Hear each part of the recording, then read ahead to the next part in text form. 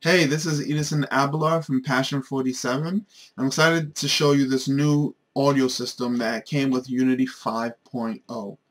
Now, before this new audio system, which you can see here is actually called Audio Mixer, before that, what we had was is we had our single audio listener, which either came on your default camera or on your, uh, if in this case, if you're using a character controller or first person, you always had one active listener within your scene. So the way it worked was is we would, I'm just going to grab my pen, we would have this listener here and all it would do is listen for new sounds. That's it. Just listen for new sounds. So let's say we had birds chirping. This bird chirp will go directly into our audio listener. Kind of curved a little bit, but it made it. Um, let's say we had some kind of fire going on here. This would go directly into our audio listener. But what would happen if we wanted to, let's say, mix together, let's say we had three different types of birds. Let's say we wanted to mix all four of these bird sounds together into one master mix and bring it here. Well, we couldn't do that natively, at least um, in Unity. What we would have to do then is, is grab another uh, asset and somebody, you know, there, there are actually quite a few really good ones on the asset store that will allow you to do this type of mixing that, uh, you know, let, let's say we wanted to do more mixes and we just wanted to, to nest mix into mix into mix and then bring them back all together into one master mix we couldn't do that. You know assets would mimic it but it just wouldn't take advantage of what Unity had to offer. And so with this 5.0 release, we actually have the ability to fully master mixes right within Unity and take full advantage of using the API, working in the editor, and everything you know about Unity. So to get started, let's just grab some clips. I'm going to drag our birds. I'm going to drag our wind light. And I'm just going to hit play. Now, you can barely hear it. But that's just our wind playing in the background along with our bird chirping. That's nothing new. What is new is, is we have this new output option. Currently, it says there's none because we don't have a mixer already in our scene. So I've actually created a folder to just organize my mixers, and I can create this new audio mixer, and I'm going to call it level 1. I'm going to duplicate that and then we have level 1 and level 2. So this just gives you a way to organize your mixes. So I have 1 and 2 here. Now, what we can do is, right off the bat, take both of our new audio sources and output them right into level 1 master group. Now, once you do that, we can hit play, and you'll actually see, if I hit edit in, well, we have to first select level 1. So I have level 2 selected, and that's why nothing is updating. But level 1 has the actual audio. So as you can see, I can control the sound, volume right from within here. And you see this edit and play mode is something that also just came about as well. So now that we can mix our sound, this is great, but we kind of have the same problem we had last time, and it's that all of the audio is coming down into one place again. So what also came with this new system is, is this groups, which allows you to further organize your audio clips. So we still have the master groups. Everything goes into our master group, but we can now say um, BG sounds, right? Background sounds. And I can then take our songs here, our bird songs, and throw it into, now we can twirl this down. We have background sounds. And we have we still have our wind light, so we can still throw that into background sounds, or we can split this up and create something else, and we can call this wind. So now we have background sounds and we have wind. So I choose my wind, and right now it's still pushing to the master, which we don't want. We bring it to our wind, and when we hit play now, you'll see that now we have three separate instances where we can modify our audio the master group controls everything. So as you can see, this is still playing, but our master group's volume is down, so now that is also down. So if I bring this up, I can actually control these sounds individually. So now all you hear is the wind, or all you hear is the bird chirp. And as you can see, this all also updates based off of the attenuation. Cool. So now, now we have a little more control and ability to start mixing and matching our audio. But we're still not done yet. We can still do quite a few other things. So let's say I'm going to grab more clips and I want this wind strong to come in. I want this frogs to come in as well and this fly. Alright, so now we come back to our audio mixer and our background um, sounds, we can actually go ahead and add the flies and the frogs. We're just going to add them into our background sounds. And now you'll hear all of them in one place. Or not. And so we can have all of our background sounds in one place. Now, what happens if, uh, you know, I, I like where I'm going. I, I really enjoy how the sound is. But let's say I want to change the mood of the actual scene. Well, I'm going to do this all in, um, I'm actually going to add one more group, actually.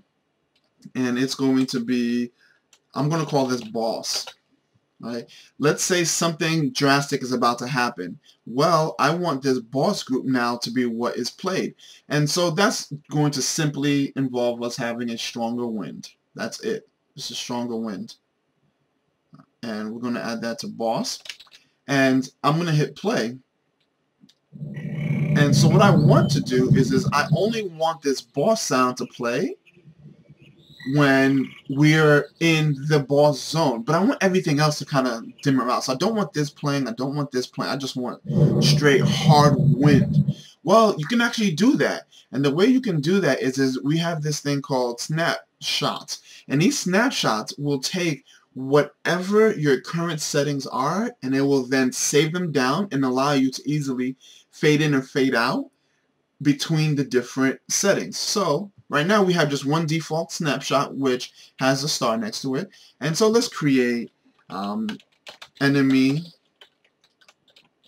1. just call it enemy 1. And so now we have two different snapshots. Now it doesn't look like anything has changed, but if we can do this in edit mode, which is awesome. I hit play, go into edit mode, and now our snapshot has all of these settings. So what I want to do is I want to bring the wind up a little bit, get our background sound, some nice and ambient.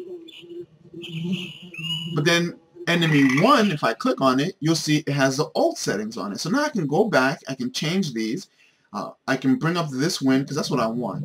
I want this really tough wind. And if I want, I can add both winds together. And now I can just simply switch between these two. Awesome. Now remember, we can still program this, and I'll definitely show you that in a later video, but still there's one more thing that I still want to cover, and that's it can get annoying. Let's say we have 30 of these, right? We have, because, you know, we're, we're mastering sound now. We want the campground, right? We want the fire in here as well, because I have a few fire clips. Uh, let's see. What does this fireball sound like? Let's see.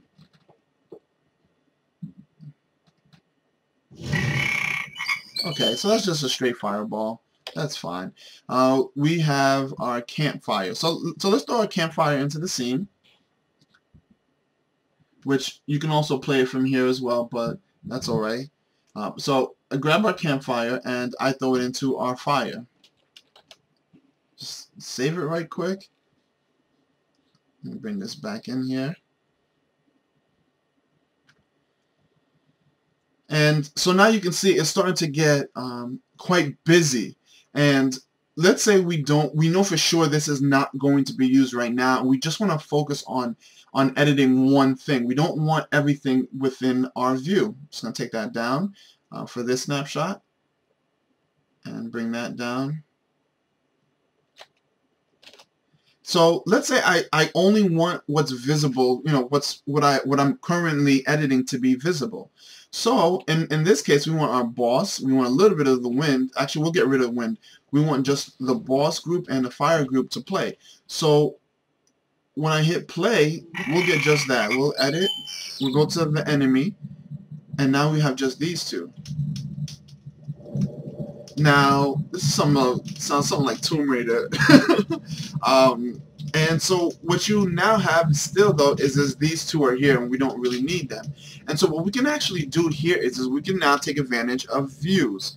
We can have multiple views. So we can call this boss and then we can call this um, we can keep this as just our main and so what I can do now is, is I can actually use this and hide them. So I'm just going to, to pause this so you can hear me. So for our main view, we don't want fire and we don't want boss to be visible. Uh, so right away we have just those visible. Now you can have subgroups as well, um, but these two are the only ones that we need visible. Master is going to be visible by default. If you want to hide master, you can hide master as well, so we can focus on just that. But when I hit play, whichever one is available, those settings will still change. The master is still working. It's just it's not visible. So if we go ahead now, and you can, once again, you can still do this in edit mode. And we come to our boss, and you can see these are all here. And I want to keep master, but I want to get rid of these two. All in edit mode, I can keep updating. And that just allows you to just quickly and easily organize your sound. Now, I did leave out level 2, but you know it's also empty. And so these mixers allow you to group together in four different manners your sound for mixing. Now, this is literally just the beginning. Now, I know a lot of you can just jump in and just use this as is right now, and it'll make a huge difference in how you organize and how you work with your sound. But this whole new sound system is very, very deep. There's a lot of parts to it. So, this is actually the first video in our simple Unity 5 audio mixer. So in the later videos, I'll show you a bunch of cool techniques that you can do, routing sounds even more than what you're seeing now, because there's a lot underneath the hood. So this is Edithson Abelard from Passion 47. Keep a lookout. There's a lot more coming. I'm out.